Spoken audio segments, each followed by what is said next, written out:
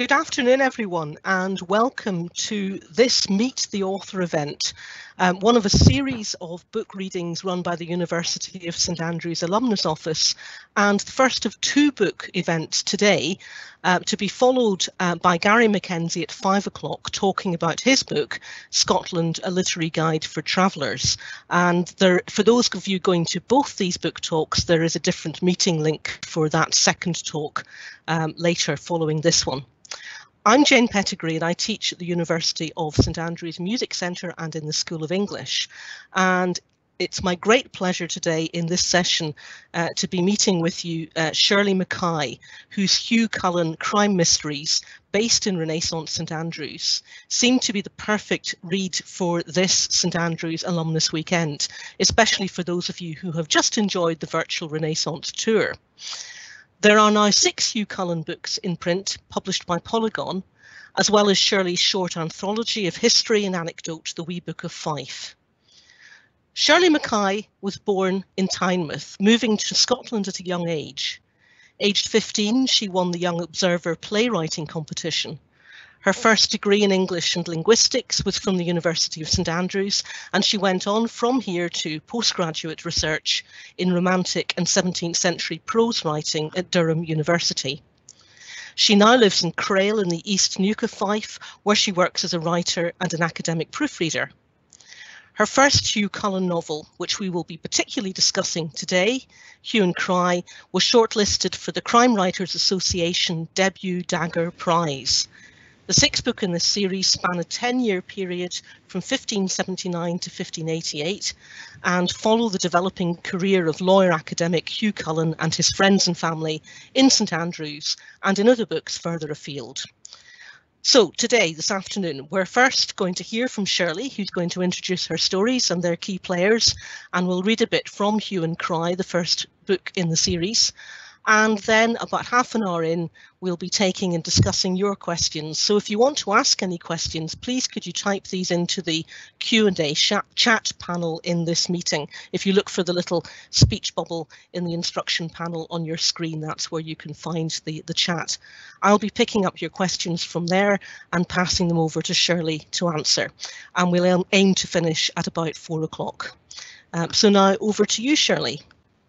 Thank you, Jane. Um, I'd like to begin by thanking Jane and Elaine from the Development Office who's invited me to talk to you all, and Colin and um, Eddie who are making sure that the technology works. And I've just managed to, to scupper it slightly, so they've got me back on track, which I'm very grateful for. Um, but most of all, to thank you, um, the audience. I can't see you, but it's immensely comforting to know that you're there. And I've been thinking, um, particularly this weekend, with it being the alumnus weekend, um, quite nostalgically about my time at St Andrews. I'm conscious that many of you might have liked to have been here and can't be. And in that spirit of nostalgia, I'd like to begin by reading a short passage from the opening to the first book, Hue and Cry, where Hew, Cullan the hero, is returning to St Andrews after several years of absence overseas. So, um, you know, to get us in the mood. And the year is um, 1579. So, from the deck of the Dutch flyboat Zeedrag, a young man looked out to shore. As the land unfurled before him like a map, he began to feel less sick. For it was not the motion of the ship, but the length of his absence that caused his soft belly to flutter and fall. The sight of the town reassured him. It looked as it had always done, fronted by the ramparts of its castle, edged on the horizon by the starkness of its rock. Perhaps it was a trick of the light, but the strip of land between the castle and the shore appeared to have diminished as it weathered the encroaching of the tide.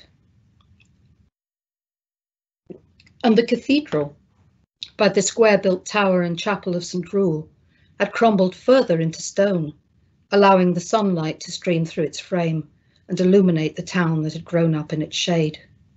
Beyond, from east to west, were ranked the four main, the four main thoroughfares, the fair and leafy South Street, with its colleges and kirk, the broad and bustling Market Gate, the North Street with its college halls and chapel braced against the winds, the Swallow Gate that opened on the castle gate and cliffs, falling sheer into the water, sweeping west towards the links and eastwards to the harbour, where the shallow basin washed into the sea.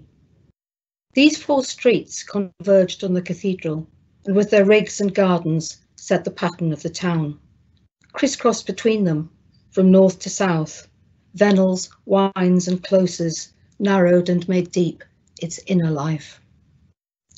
True to its name, the flyboat had crossed the North Sea from Holland fiercely and swiftly, and soon disgorged its contents in the sunlit bay. The young man, Hew Cullan, found little to detain him. Since he was no merchant, he had nothing to declare. In fact, he had nothing at all. He had travelled from France through Flanders to Campvere, where he was shown to one boat, and his belongings, inexplicably, were thrown upon another, bound for Leith. He had only a purse of French coin and the fine suit of French clothes he stood up in, which now seemed unfit for the drab Scottish soil. He felt a pleasing lightness as he scrambled from the boat, coming back as a stranger to find his old faith with the town. St Andrews was constructed on parallel streets, within and between which its business took place. He climbed from the harbour through the sea gate to the pens that opened out upon South Street. Behind him stood the old cathedral and the priory vaults and cloisters where the merchants thronged on fair days. To the right, the grand houses, some in mid-construction, where they pawned their wealth. On his left, and here he paused, were the college and the chapel of St Leonard. This was where, as a boy of 14, he had first entered the university to begin the education that had taken him to France. For four years, he had worked and dreamt behind these quiet walls. Since it was September now, the gates were closed. The term would not begin for several weeks, and the present crop of students had not yet arrived to straggle obediently from college to kirk, from lecture to links, snaking through the town. From Hew's point of view, perspective, we might say, St Andrews is built up of parallel streets.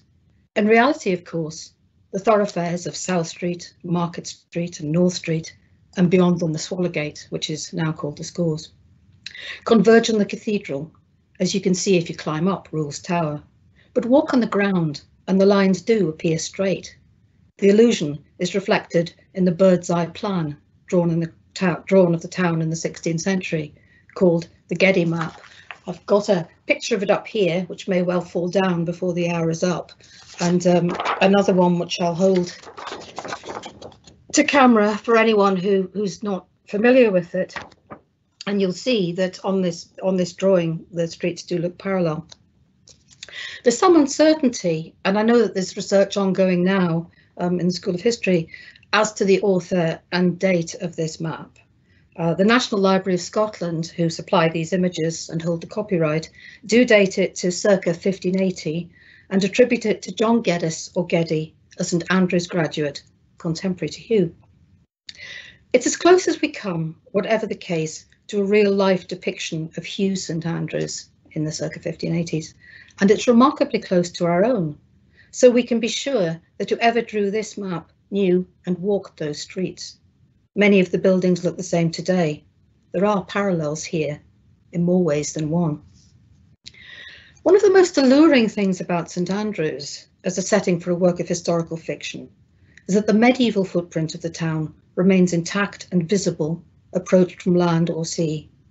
Later in the book, Hew walks to St Andrews with his sister Meg from their father's house the view from the south as they come upon the town is the same one I see today coming in from Crail, where we live, through Sunshine and through Har.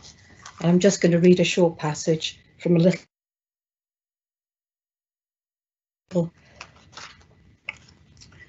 At Kinkell Braes, they turned off from the road and made their way towards the shore. For a while, the path led them through thick swathes of thistle and thorn, where leafy fern and marram grass obscured the water's edge. Meg filled her basket with brambles and rosehips, and as they fought their way through clumps of weed, they feasted on blackberries and were children again, forgetting their shyness, chasing through the nettles and the gorse. Presently, as they came closer to the cliffs, they saw the ragged outline of the Maiden Rock, and beyond it, the outcrop of shoreline, black against the smoothness of the sea. A thousand seabirds flecked the rocks, from the stillness of the water to the pallid wash of cloud, forming layers of muted colours to the hills beyond. The landscape rose in strips of undulating flatness, the rocks a streak of blackness in the grey rush of the water, and the sea a streak of darkness in the whiteness of the sky. Then, as the light changed, they saw the pale arc of the bay, the curvature of windswept sand, coloured like the harvest, ripe against the perfect blue of the sea. The beach circled round to the pier, where the waters broke and scattered freely, sending spray like sleet above the harbour wall. And rising from the bay, they saw the town. In 1579, nostalgia has already set in. Hew is aware of the change. His sense when he arrives from the wider world that the strip of land between the castle and the shore has diminished since the last time he was here is a constant threat and is poignant still, where rapid expansion on one side is set against coastal erosion, dissolving the physical landscape. Sand was once stone and stone becomes sand. In Hew's day, there was still pasture land at the bottom of the cliffs. As the castle moves closer into the sea, stone from the cathedral is harvested to build new houses on the south street. The town is moving on. The freshly painted ceiling of Hew's cousin's house in Hue and Cry was inspired by the one in the merchant's house, which was open as a coffee house in the 1980s when I was a student. Uh, now it's a private home, you can't see it. The house had a strange medicinal smell, like green wood newly oiled. Hew felt his way into the central hall, and in the pricking of the light began to make sense of what he saw. It was like looking in a glass, his fears illuminate, the rafters grim and lurching like a gallows in the fog. He saw sullen purples lolling, slack and swollen blues, the hanged man's face become a bowl of fruits. He was not looking into a glass, but up to ceilings bright with pictures, florid birds and trailing foliage, varnished apples, bulbous pears. The pictures in the coffee house were less grotesque than these, and I know that I drank tea there many times. I feel a bit sad given the attention paid to Meg and Giles to eating in my books. There are lots and lots of meals that I can't remember anything that we had to eat, but doubtless there was cake. Hew Cullan is a child of the Scottish Reformation, born in Edinburgh, 1555. His mother dies in childbed with his sister Meg. His father, Matthew, a successful advocate, retires to Kenly Green, four miles from St Andrews, in 1567. There's a reason why I set this house outside the town. Boundaries and peripheries, the urban and the pastoral, license and constraint are themes that recur in all the books. Distance is a lens, a slant, or new perspective, which may be an illusion after all. Hew has been brought up as a Protestant, humanist and Calvinist in outlook and beliefs, though his father remains a staunch Catholic. Hew is also educated, tolerant and sceptical. As reconstructed as possible for a Scottish male in the 16th century, which was a prerequisite for his role as amateur detective in the early modern world. He's not, I plead for him, quite anachronistic, but he is uniquely privileged equipped with the advantages, resources and connections possible for him to have accessed at the time. He is entirely reconstructed, but from original parts. In 1569, he matriculates at St Leonard's College, St Andrews, graduating Master of Arts in 1573. At 18, he's sent to the Scots College in Paris to complete his education in the law, where he meets Giles Locke, who is studying medicine. Neither could be studied at St Andrews at the time. And they're re reunited at the start of Hue and Cry. Hew has returned unwillingly from France to begin his training at the bar. Um, that actually takes place in the second book, um, Fate and Fortune. And Giles has a position at the College of St Salvator or St Salvators. Before returning home, Hew seeks him out and he finds him in his rooms at the college gate in the turret tower and that's the building which had the blue plaque on the wall to the Admirable Crichton, that legendary prodigy and paragon of Scots Renaissance man, and some of you may remember. Lying on the floor of Giles Locke's tower, Hew felt at home for the first time since leaving France. Giles had dragged a feather mattress into the centre of the room, on which his friend lay sprawling, gazing at the walls. The room was filled with objects from the Rue des Fosses, no less familiar because they were strange, discoloured substances floating in jars, compasses, astrolabes, globes and nocturnals, pig's feet and goat's teeth, the beak of a gull. Giles Locke's turret tower does not look back into the quad, but outward to the world. It used to house the Old Union and, in my day, the School of Linguistics, deep in its warren of room, rooms. And I use the word school, which was not common then, instead of department, because in the true sense, that's what it was. The professor, Jan Mulder, had developed the theory of axiomatic functionalism, for which it was known as the St Andrews School and rare for its time, it attracted international students. I didn't come to St Andrews intending to embark on the study of linguistics. I came to do English and to read English literature, as I had always done and known that I would do, and so I did. And in later years, I married Neil Rhodes, who taught me English in third year. What stronger endorsement than that? But when I arrived, I took First Arts Linguistics, drawn in by a talk at the Freshers' Fair where nothing that was said made any kind of sense to me. And it was irresistible. By the end of the second year, I began to see and learn to think, or I thought I did. And so I ended up taking the joint honours degree. The linguistics course was closed in 1983, too rarefied and small to escape the funding acts. And my cohort was the final one.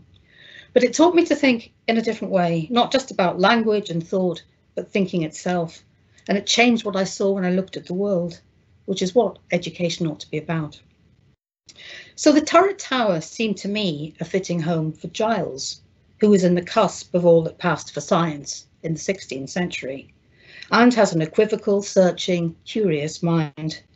His energy, humanity, and fondness for controversy, his passion for what seemed to us his slightly bonkers theories, have parallels for me with the old linguistic school though they are illusions after all. Fair to say, perhaps, that his skills are hampered rather than enhanced by his own philosophies and the limitations of his time. Whereas science fails him, he has Hew's sister Meg, whose pragmatic knowledge of the use of medicine is a foil to his, and all of the resources, equipment and technologies placed at his disposal make him, for his day, cutting edge.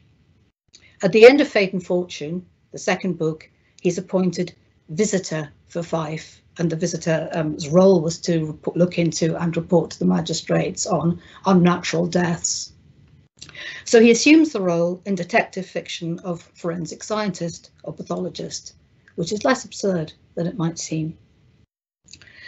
The 1980s, sad to say, were not a golden age for Scottish universities, and St Andrews itself had long been in decline. It's perhaps only in the last 20 years that it's recovered to the kind of reputation it had first enjoyed in Andrew Melville's time as an intellectual powerhouse far above its size. And that's strange to think of now. But the 1580s really were the first glory days. By the 17th century, once the king and his court had left Scotland for good, the rot had already set in. Hence the proposition in the 1690s to move the university to Perth. And the reasons were quite clearly set out. The victuals are dearer here than anywhere else, viz. flesh, drinks of all sorts. This place is ill provided of all commodities and trades, which obliges us to send to Edinburgh and provide ourselves with shoes, clothes, hats, and what are here are double rate. This place is ill provided of fresh water, the most part being served with a stripe, where the foul clothes, herring, fish, etc. are washed, so it is in the most part nasty and unwholesome. This place is a most thin and piercing air, even to an excess, and this is the reason why old men coming to this place are pre-instantly cut off. As also why malignant infections and diseases have begun to begin and rage most here, and last year a most malignant flux were have died upwards of 200 persons in a few weeks, which much prejudiced the university. This place, being now only a village, where most part farmers dwell, the whole streets are filled with dunghills, which are exceedingly noisome and ready to infect the air, especially at this season, when the herring guts are exposed in them. The disposition of this people is much set upon tumultuating, as did appear in the year 1690, when they chased the colleges, students into the colleges, and brought their cannons to the very gates to throw down the college. And one of their tradesmen, drawing a whinger to Dr. Skene within the college, threatened to murder him in the same year, threatening to drag him to prison. The aversion and hatred they have to learning and learned men, and their present design of robbing the new college, which they are not ashamed to publish. Appealing though all of this is, town and gown relations at their lowest ebb, there are compelling reasons for setting a historical fiction series in the St Andrews of the 1580s rather than the 60 or the 1980s, or for me at least, at almost any other time. Reformation changes everything, but human nature still remains the same.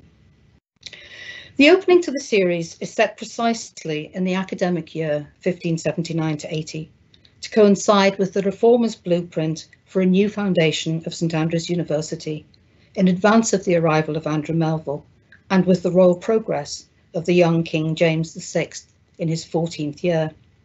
The king was rarely seen before that time, but during that first progress, he visited St Andrews, where he saw a play, The Germ of the Seed of the One, in Hue and Cry. And I intended at the beginning of the series that these stories would progress from the coming of the king to the union of the crowns in 1603, and that Hew's life, in some sense, would be entwined with the life of James. At the present rate, it seems quite unlikely that I'll ever get to the end, 1603.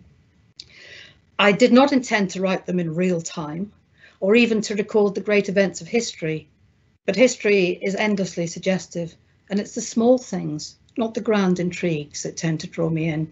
It's a windmill, a picture, a play, things which are the stuff of lived lives.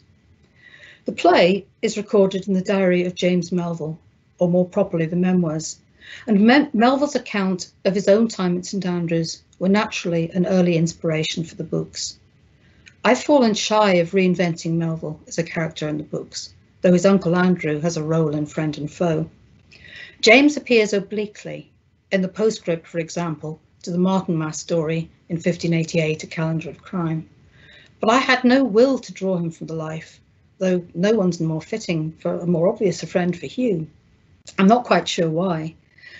In the one place where his absence may seem inexplicable, Andrew Melville's crisis at the start of Friend and Foe, he was quite conveniently absent in real life in Edinburgh on his honeymoon, marrying in May, which the almanacs would certainly have cautioned him against. Or so we have it from his own account. His record of his life begins with the clear assertion that he was born the 25th day of the month July in the year of our Lord 1556 to which he adds the note, My uncle, Mr. Andrew, holds that I was born in 1557. So fiction, after all, may be more secure. Histories, like memories, are underpinned with doubt. Years ago, in 1998 to be more precise, I visited King's College Aberdeen and saw an exhibition which was part of the quincentennial celebrations which had a reconstruction of an early student's room, more like a monastic cell, with a modern, of a regent, as the tutors were called, visiting him at night. And for a while there was a virtual three-dimensional record of this exhibition online. Now both this and the original have disappeared and left no trace. No one I've spoken to at, at Aberdeen remembers them. I do know the date from the back of a photograph which was taken at the time and from my husband who was with me and he can corroborate that I didn't imagine this. It left a great impression on me, and the vision of that room was fixed in my mind when I wrote Hue and Cry. If it is unearthed and comes to light again, I wouldn't be surprised if it was nothing like the picture that I remember. And at the same time in Aberdeen, I bought a little book about the regulation of the university, which led me to look into the new foundation of St Andrews too, and opened up the door to Hew and Giles. And under its terms, St Mary's, called the New College, was to be explicitly a college of theology to train up the ministers for the new kirk. The two other colleges, St Leonardus and St Salvator's, were to be reformed in such a way that the youth may attain into perfect knowledge of humanity and true philosophy, with four ordinary professors or regents beside the principal, teaching the first year the basics of Greek, with exercises and composition for the first six months in Latin and the rest in Greek. In the second year, the students were to be taught the precepts of invention, disposition and elocution in both languages through study of the best authors. In the third year, they should progress to the logic, politics and ethics of Aristotle, all in Greek, and the offices of Cicero in Latin. In the fourth year, they would study Aristotle's physics and the spheres. And it was proposed too that the principal of St Salvator's should be a medicina, a professor of medicine, and the principal of St Leonard's a specialist in the philosophy of Plato, and that the lawyer and mathematician at that time in the new college should be transferred to St Salvator's. Their roles in the stories are assumed by Giles and Hew. In fact, the mathematician and um, lawyer were the same person, and I invented another mathematician for Time and Tide, who is who's Barty Grote. Because most of these reforms, of course, never did take place. The resistance of the colleges to any kind of change are shown in Hue and Cry, in the Whitsunday story in the calendar of crime, and in real life in the lasting records of the Crown Commissioners, whose inspections were frustrated, thwarted and ignored well into the middle of the 18th century. But the principle is there. It allowed me to appropriate for Giles Locke and for Hew the positions of physician and professor of the law, and to establish, by the end of the second book, the roles of gentleman detective and forensic scientist, if you like, within the limits and the license of the 16th century. Hew's understanding of the law and the practice of medicine by Giles Locke are defined precisely by their place and time. The people they depose, the provost James Martin and the lawyer William Wellwood, I have quite shamelessly usurped. Wellwood wrote a tract on Scots maritime law, which was the legal source for Hew on the shipwreck in Time and Tide, and a Latin pamphlet on hydraulics, which lies behind Giles Locke's experiments with plumbing in Friend and Foe. I'm not sure if that mitigates or compounds the theft, but it does mean that his part in this has not been overlooked. Perhaps the lines converge. Giles and Hew are frauds. They can be nothing else, but they are well informed.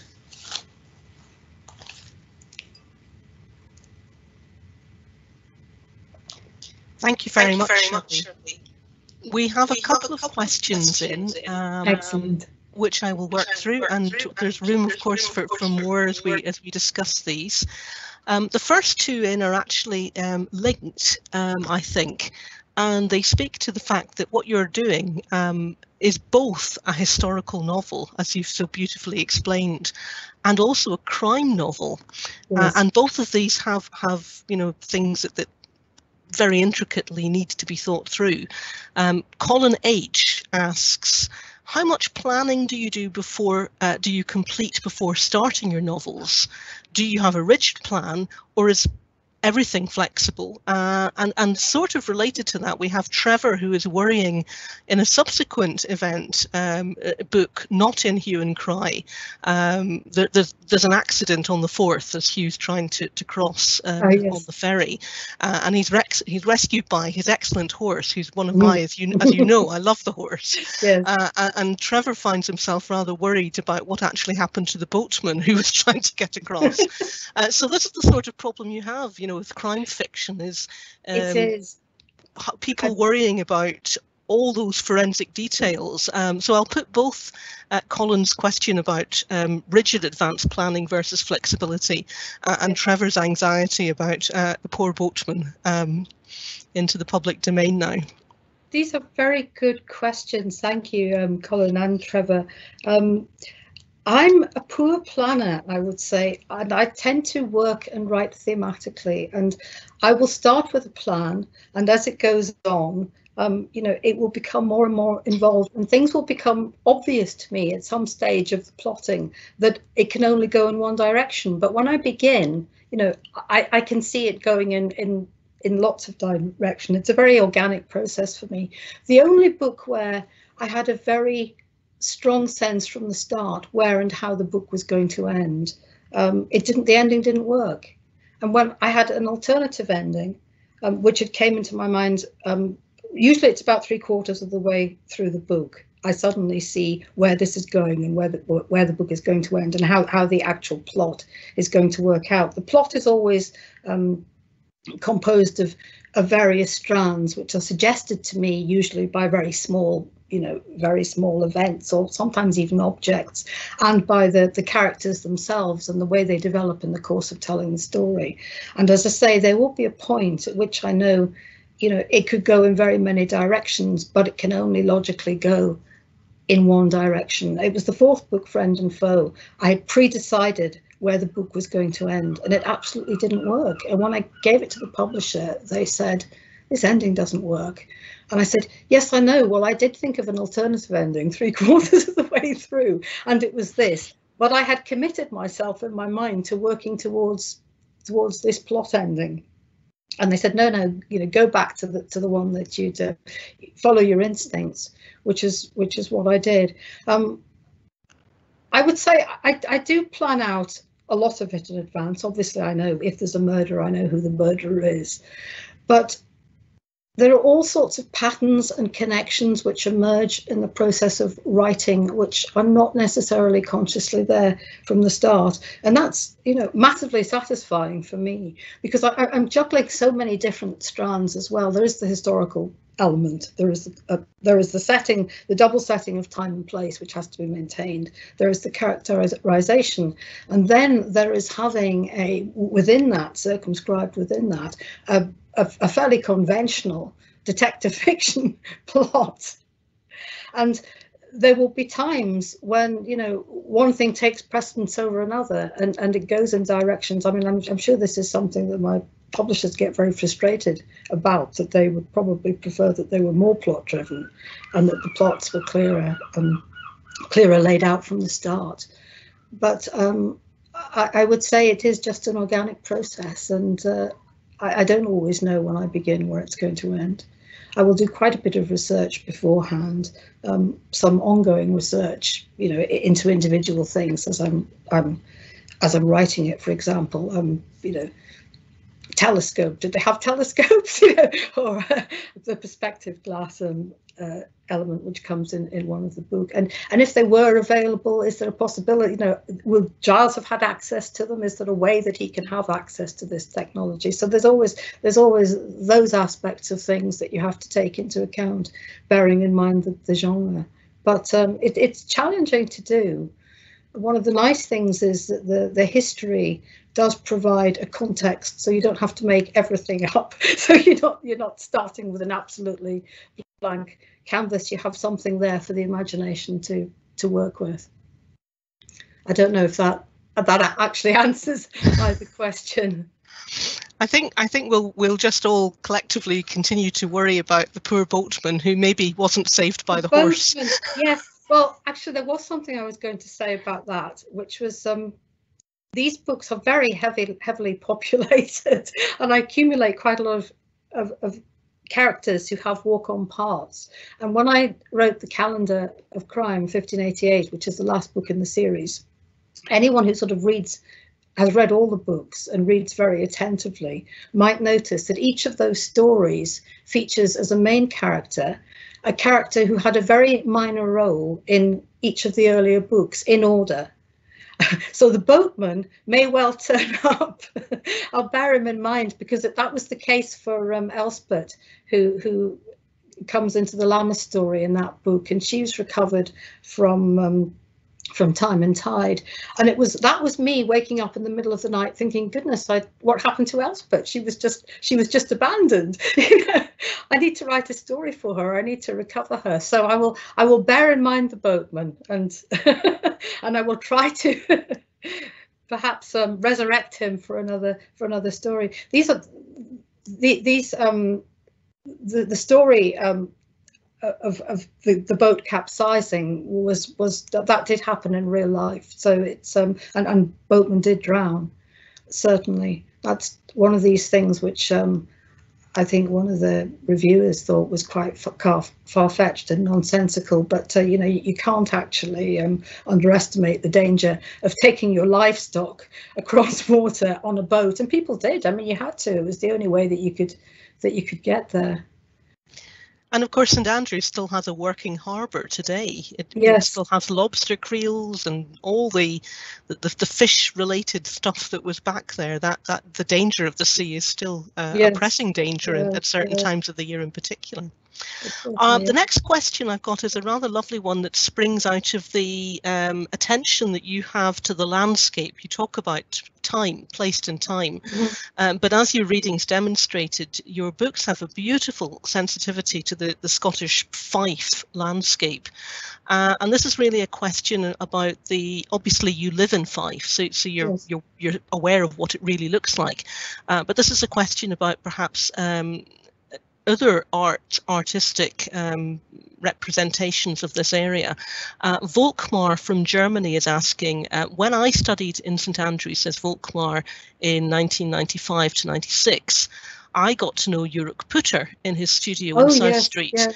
And he, of course, reconstructed Scotland, but especially St Andrews in the Middle Ages, a little bit before the Renaissance. Most of his material is late Middle, Middle Ages, pre-Reformation, in very detailed ink drawings. Have you encountered, uh, incorporated his research into your books, asks Volkmar.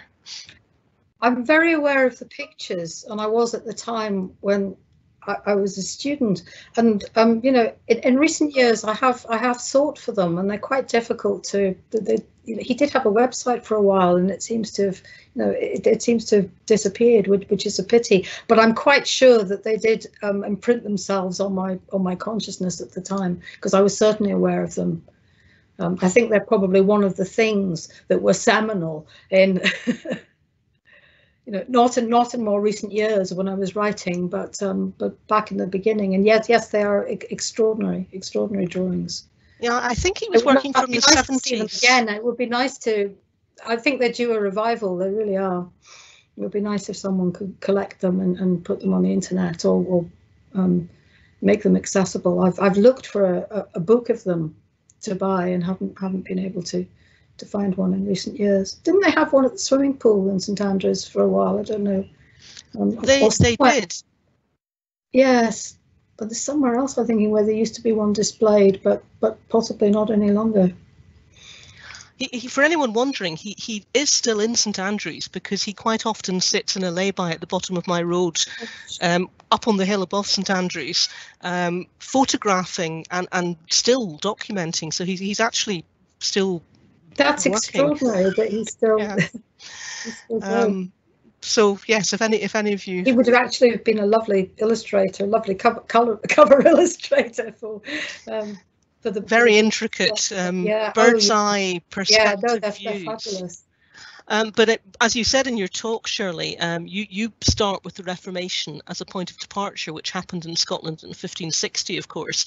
And yes. Jurek's um, engravings um, are particularly interested in pre-Reformation yes. St Andrews when yes, the pilgrims exactly. are still coming yes, and the cathedral is still extant, um, and, and, trying to reimagine uh, what, what, that what that skyline would, would have looked like.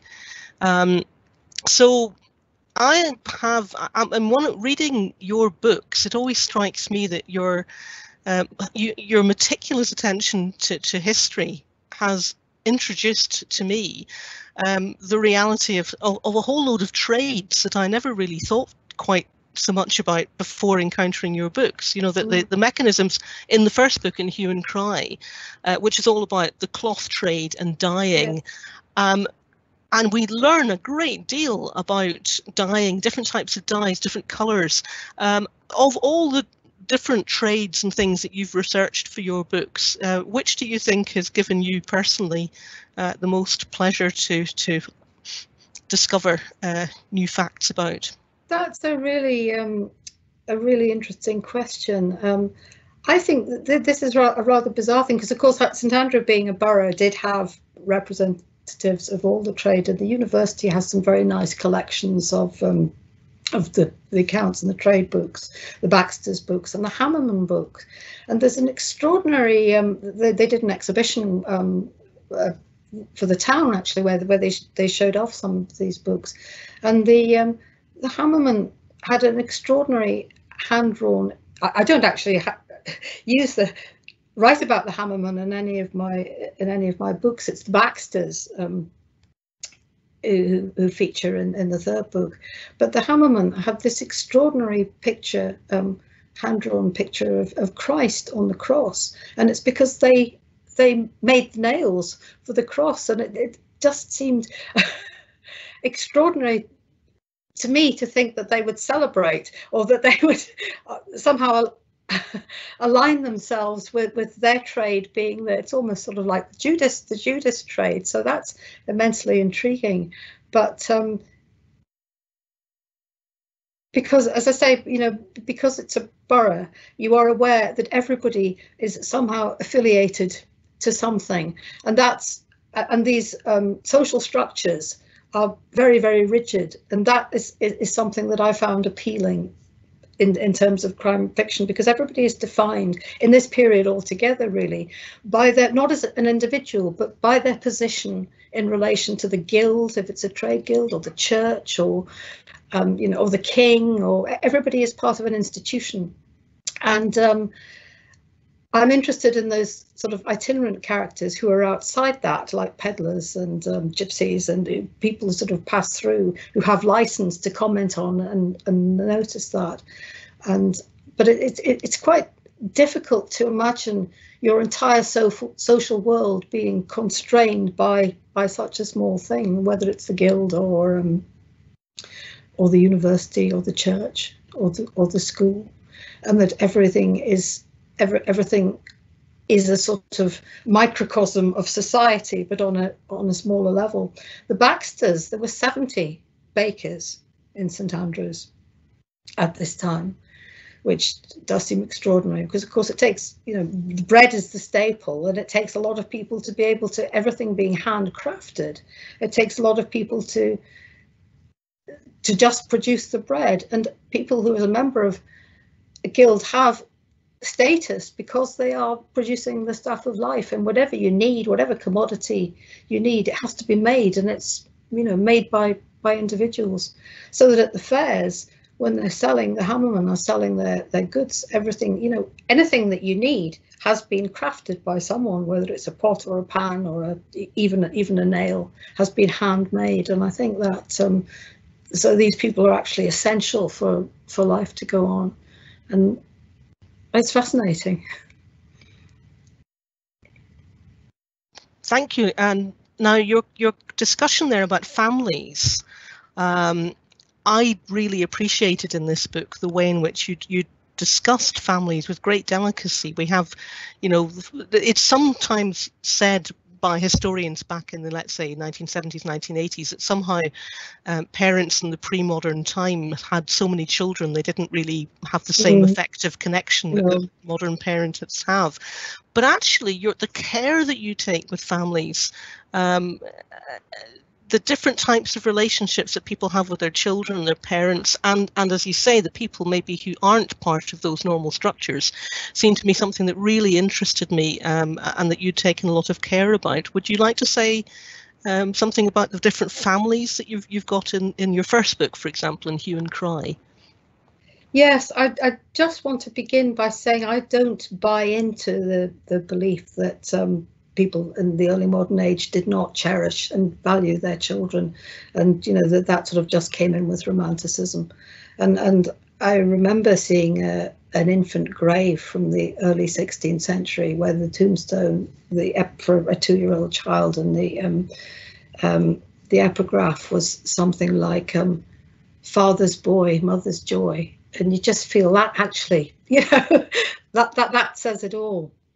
So I think that um, the problem that know, the the head of the fa- the family obviously has a great sense of duty first to his family, or perhaps you know he has a sense of duty to God. He has a sense of duty to the king or to whatever lord is um, above him, and he certainly will have a you know a sense of duty and feeling towards his family. And these things are often in um, conflict. I think what people did not have was the sense of themselves as individuals that we have today post-romantic. I think they saw themselves socially, but I certainly think that they valued their children, um, and not just as status symbols, but um, you know that they valued and loved their children.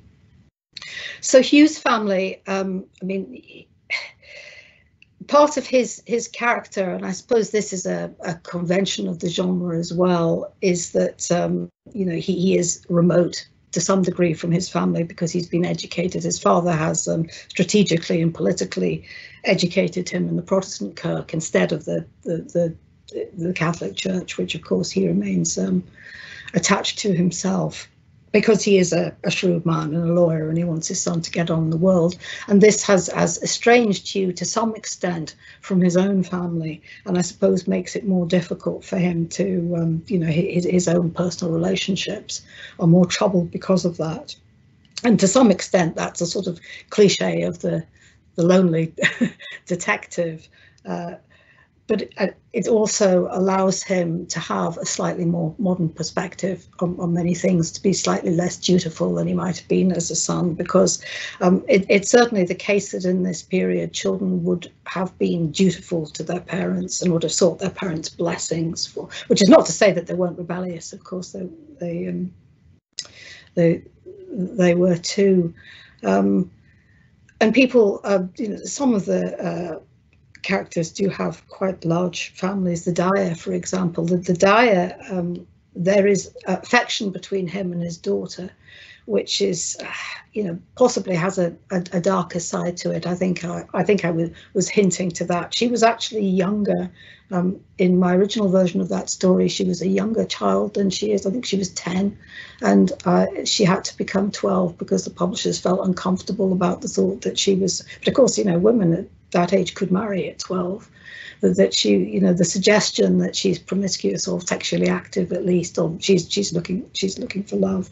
But even with you know even with bad characters in in the books you you do have um you know the sense that they are um they have strongly fe strong feelings for their family. And that's true of um, Andrew Wood, the coroner, who um, is not named in the first book, book, but his whose character develops as the books go on, and he acts in a way um, which is harmful to Hew in Friend and Foe because he's putting his own family first.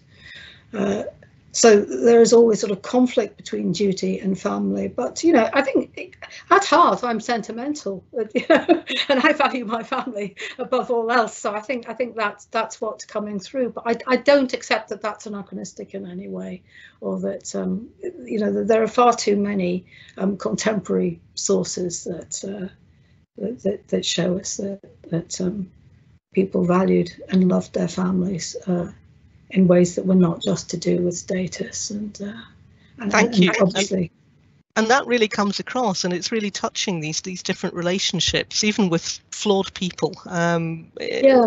how it develops it also seems to me that you've got um, a tremendous sympathy for for the position that women in this town and this society have. I mean, Hue and Cry um, shows different ways in, in which women can be vulnerable in ways that, that men maybe aren't. Yeah. Um, you know, the minute that Meg, Hew's Hew's sister, um, shows that she's skilled with with herbs. She doesn't have the option as Giles does to become a trained doctor, mm. even though Giles's cures are often rather more yes. dubious than Meg's. Um, you know, her, her her herbal medicine actually works in areas that that his methods yes. are, a bit scary. Um, but you know, uh, you, you, it seems to me that in this book and others that, that you've quite deliberately set out to explore um, that gendered predicament in, in early modern um, situations. Yeah. I, I tried to also, um, particularly in Time and Tide, I think, where there are women's worlds and men's world worlds. I've tried to indicate that um, you know the expectations of men also made things, you know, difficult difficult for them, and and uh, you know the, the, responsibility that men had. the, the, the weight of responsibility that Hew feels. But I do think that in Scotland, for women in that time, they probably had, um, you know, more slightly more independence than they had in the 19th century, for example, and, and could do more, and you know, less than they had in the medieval period when, of course, women did, um, you know, did do all sorts of professions, but the wise woman would certainly have been um, more respected than somebody like Giles when it came to to who you went to if you were unwell for for, for practical application, and and they often ran as widows. They often ran their hus- husbands' businesses. Um, you know whether they were innkeepers or printers, as happens in in the second book. And um, I, I, think too the fact that um, women kept their own names in Scotland. You, you, didn't you didn't take when you married you didn't take your husband's name. It was only sort of beginning of 19th century when that convention, as it was, was be, began to be adopted. Meant that they had perhaps were seen more as individuals and had a separate status. It's actually um, a bind when you're writing the stories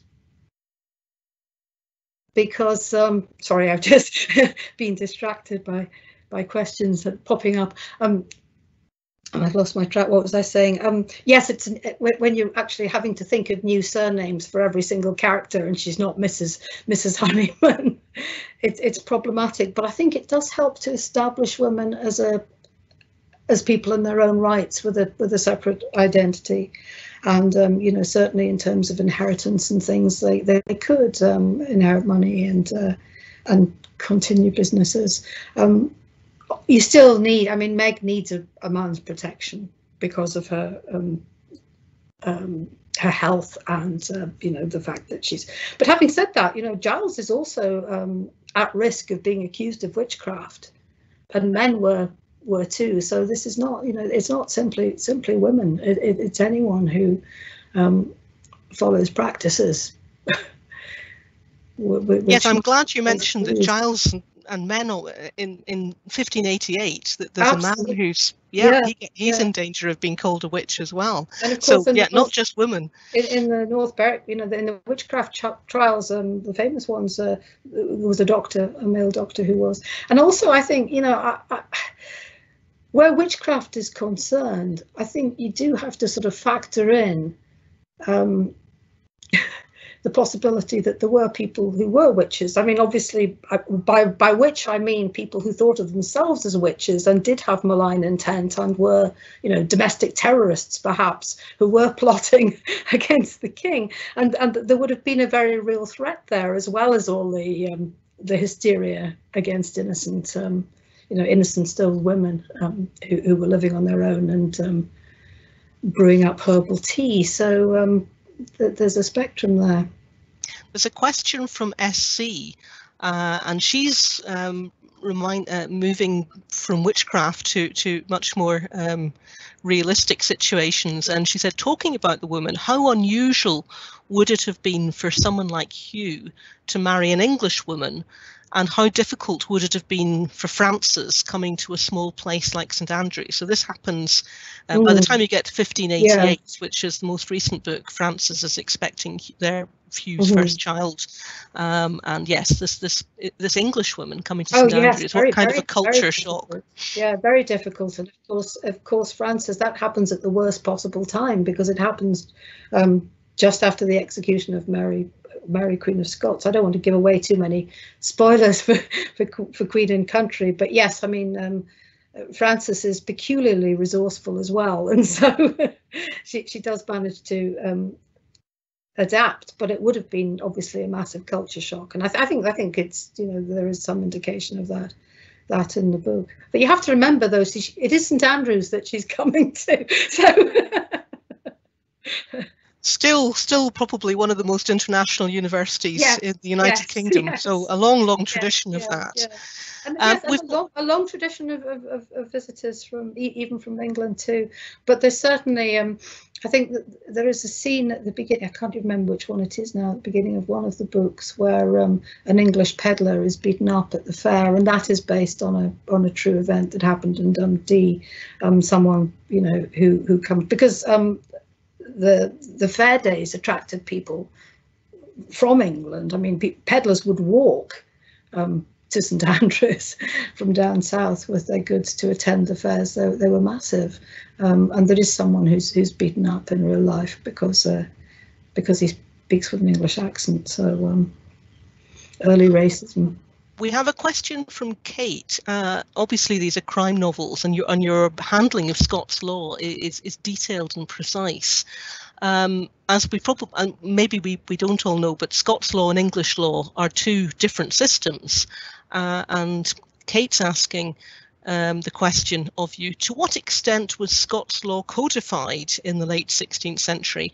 Um, I'm surprised, she says, how well regulated things are in your books.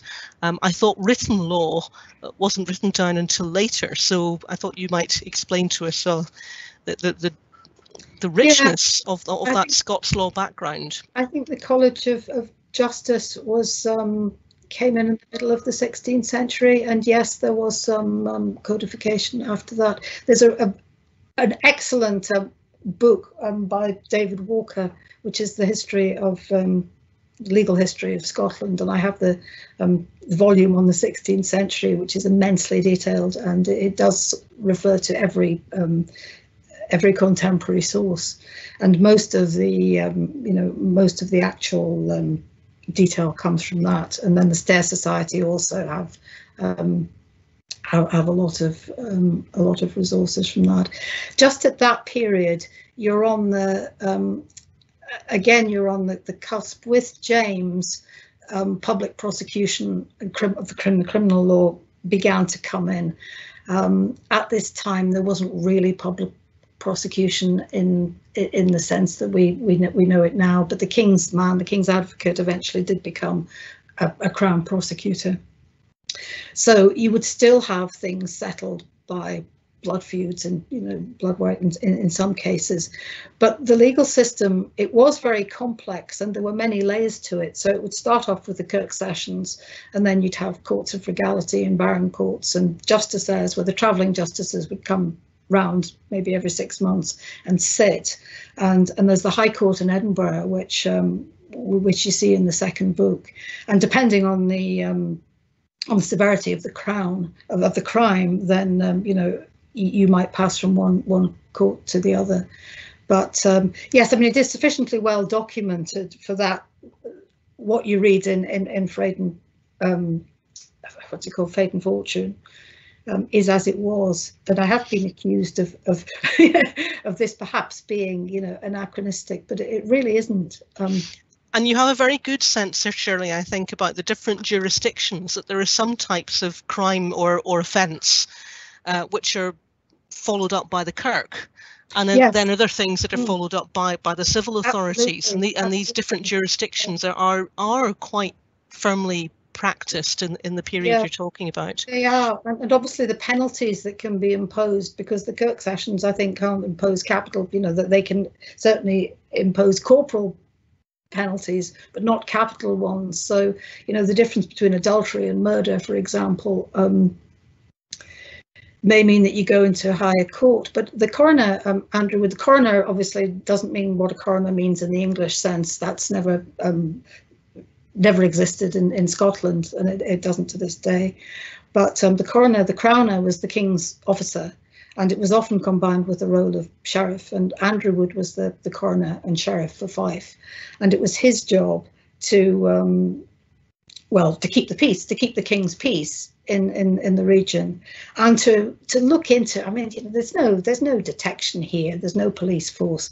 You do have the town bailies and you have the elders of the Kirk session who would certainly report any malefactors to whichever who, um, whichever court uh, is appropriate. Um, Andrew Wood um, would serve writs if if he uncovered a, a capital crime, then he would report that to the justice clerk, and they would produce a writ which he would then serve and arrest the person, and they would be delivered up um, to the court either at the visiting justices or or to Edinburgh. Uh, um, but he was also on the Kirk session. So he would have been, you know, he, he would have been looking into anything that happened in his jurisdiction and he would be responsible for it because, you know, the Crown could say, well, you know, what's going on, you know, some there's too much um, sheep stealing or at every level. There's a lot I, of I suspect there's a lot of reporting of other people, a lot of looking over your shoulder, and um, not a very nice society to be living in a lot of neighbourhood watch type. I have one last question um, to finish with. uh, and that is um, these are novels about university life, at least. It's a kind of Morse and St Andrews in the 16th century, at least in the beginning. um, and reading it, I, I, teach undergraduates now, and it struck me there are, you know, there are many of the problems that you you touch on, which are actually quite contemporary: student yeah. anxiety, um, mm. anorexia yes. in young men. Yeah, um, yeah. How how similar do you think and how what are the differences and similarities between students in the 16th century and students today? Well i think obviously they're younger to start with um, because you would be 14 when you went um, to, to do your degree and you'd be there for four years so you graduate master of arts at 14 so so in a sense and um, i suppose it, it's debatable whether people are um, whether they had reached any kind of emotional maturity at 14 in those days. I suspect not. Certainly they hadn't reached physical maturity. And I suspect that, you know, they would have been so cloistered through childhood that the sort of young men who went, of course, they're always men, who went to university um, will not be very mature. At, at, that point. And some of them obviously struggled with it. But if you read James Melville's, you know, accounts, both of his time um, as a regent in, in, in Glasgow when his students are you know, sort of riot on the streets and they drink and they gamble and they draw daggers and they beat up the, the tutors and, and the rest of it. And his own, um, you know, innocence and difficulty when he's starting out and, and all of which influenced me very much and that he doesn't have you know he doesn't have enough money to to join in the pursuits that the other students do he, he can't afford to play tennis and golf which of course is what the rich students do um, I think that their concerns are very similar to the concerns that the students have now. They're they're worried, obviously, about um, pleasing their parents, possibly more more than they are now. But then there are students who have um, those kind of um, anxieties too because of the financial anxieties that are put on them. I mean, I, I've thought that students nowadays have actually far more anxieties than I had when I was a student, and school children too, that they're far more sort of conscious of the difficulty of making your way in the world than than we had. I mean, when, when I was a student in the 80s, there were no jobs then, but I don't remember either when I was at school or um, when I was an undergraduate there being so much pressure or so much, you know, feeling that you had to be good and better and that everything was so competitive. I think we just, um, um you know, went to the pub and. well, with that, around reading books and had a nice time. as we come to the end of a year of COVID, when of course going to the pub seems an impossibly yes. luxurious thing to be even dreaming of, I feel so sorry for the students at the moment. It's, they can't do that thing. Yeah. um, but I would like to thank you, um, Shirley, for a fascinating talk and to all of you from joining us uh, from all over today um, with your questions that you've put, uh, to the technical team for their support, and other books in this series are of course available at any good bookseller near you, including the lovely Toppings in St Andrews. Uh, go safely, keep well, and haste you back in real time, real presence in another year. Um, thank you all for being here with us today. Thank you. Thank you.